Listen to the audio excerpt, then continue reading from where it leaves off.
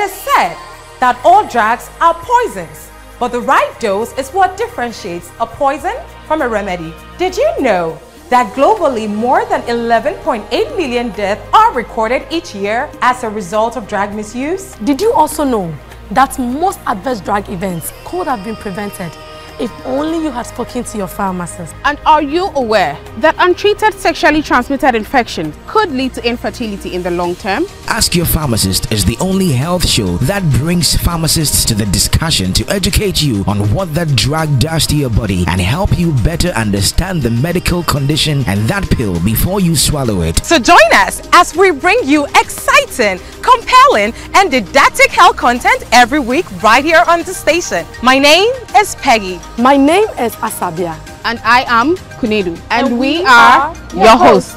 Ask your pharmacist. Stay informed. Stay healthy. Ask your pharmacist. Season 3 is proudly brought to you by Drugbase, the Pharmaceutical Society of Ghana, Letap Pharmaceuticals, Chango, U School, and the Tema Christian Eye Center.